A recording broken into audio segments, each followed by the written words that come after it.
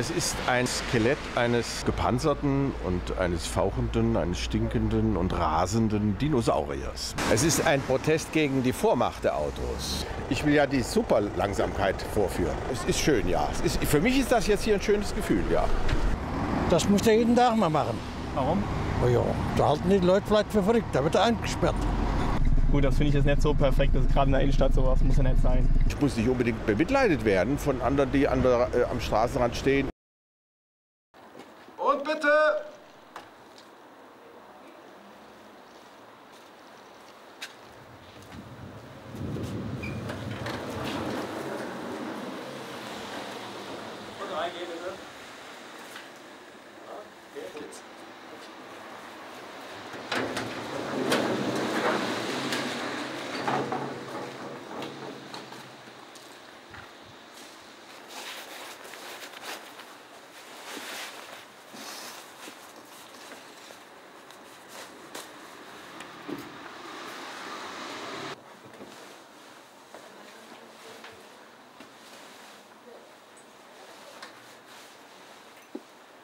Hätte noch mal so. Ja.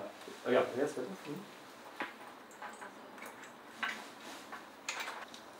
Und bitteschön. Ach, Entschuldigung. Ja, danke. Wunderbar. Und los geht's.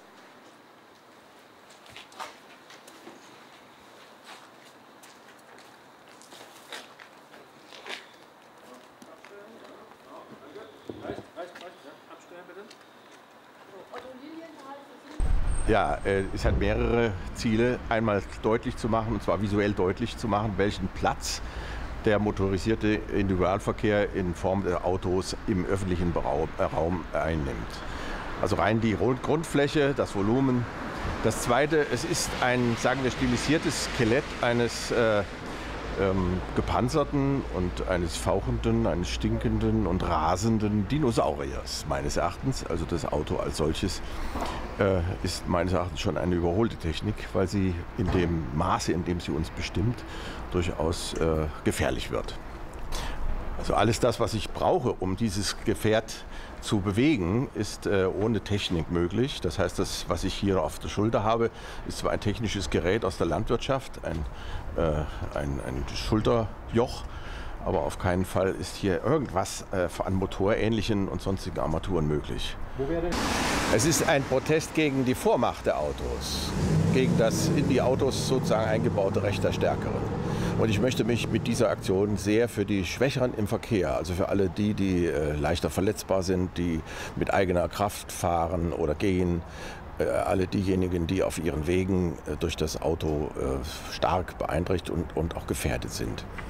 Und sie werden natürlich durch mein Tempo vielleicht hier und da auch einmal ein bisschen äh, aufgehalten, aber ich werde so diesen Weg nehmen, dass ich auf einer Fahrspur bleibe und das Überholen möglich bleibt.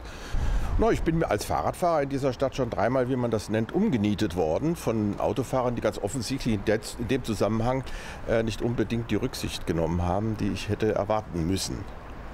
Über 50 Prozent der Autofahrten werden ja unter vier Kilometer absolviert und da ist die Brötchenfahrt mit dabei.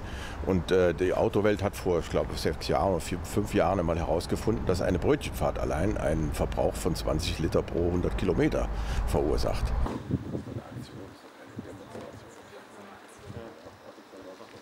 Ja, ich weiß. Leute laufen ja.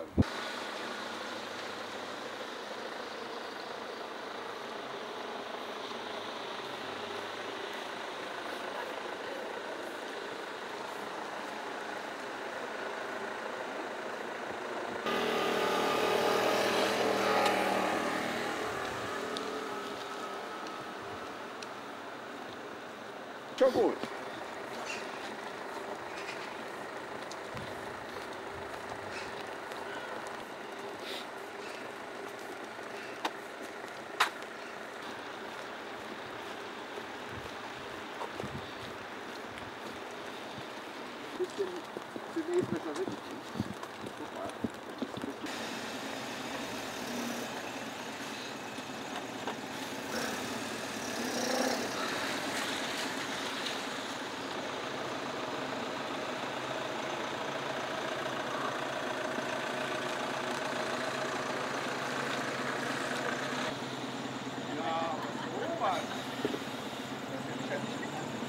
Ich will ja die Superlangsamkeit vorführen. Die Forderung ist für den motorisierten Verkehr die Obergrenze 30 in den Städten, 80 auf den Landstraßen und 100 auf den Autobahnen. Äh, es ist schön, ja. Es ist, für mich ist das jetzt hier ein schönes Gefühl, ja. Ja, ja.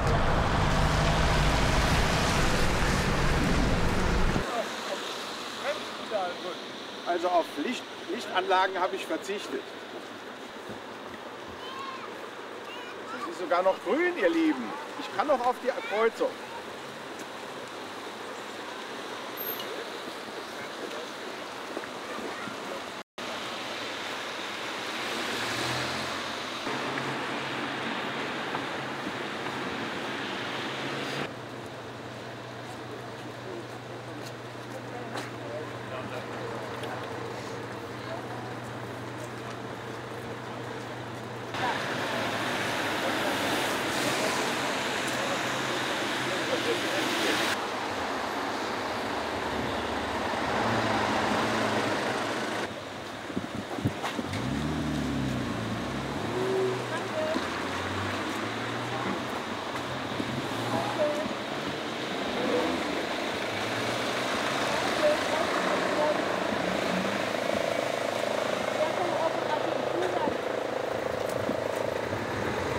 Also wir hatten vorhin äh, einen Fall, ähm, als wir versucht haben, ihm hier einen Flyer zu geben, hat er gleich alles dicht gemacht und sich seinem Handy ge gewidmet, dass man ihn bloß nicht anspricht.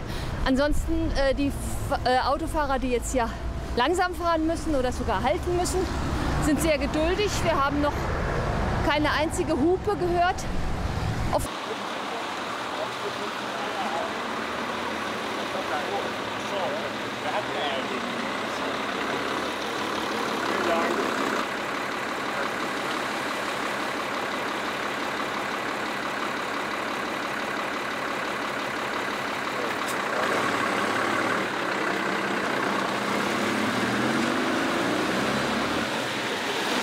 die großen Flächen von euch von Autos. Wir fahren mit drei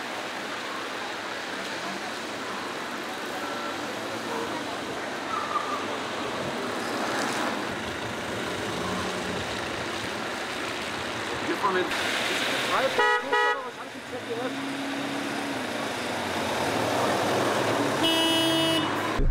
Gewisse Leute sind auch vom, vom Job gebunden, da müssen wir mit dem Auto fahren. Und dann finde ich das nicht so in Ordnung, aber am Ende, ja, gut, das finde ich jetzt nicht so perfekt. Das ist gerade in der Innenstadt sowas, muss ja nicht sein. Das kann man zwar irgendwie anders da machen, aber nicht. Davon bin ich nicht genervt. Das finde ich sehr gut, ja, als einmalige Demonstration. Ich finde es gut. Sie sind auch Autofahrer? Auch, Was halten Sie davon? sehr gut. Das muss er jeden Tag mal machen. Warum? Oh ja, da halten die Leute vielleicht für verrückt. Da wird er eingesperrt. Vielleicht wird er dann nochmal eingesperrt. Also ich leide jetzt mal physisch darunter, was äh, den nicht motorisierten durchaus immer passiert, dass sie Wind und Wetter ausgesetzt sind. Das bin ich als Fahrradfahrer, das bin ich als Fußgänger und äh, obendrein eben mit eigener Körperkraft. Und äh, ich muss nicht unbedingt bemitleidet werden von anderen, die an der, äh, am Straßenrand stehen. Ich bin ja auch auf der Seite der Busfahrer oder der ÖPNV-Nutzer, die auf die Busse warten, die hinter mir etwas langsamer geworden sind. Sie haben sicher Ich werde es morgen früh auseinanderbauen, dann werde ich wegwerfen. ich habe genug provoziert.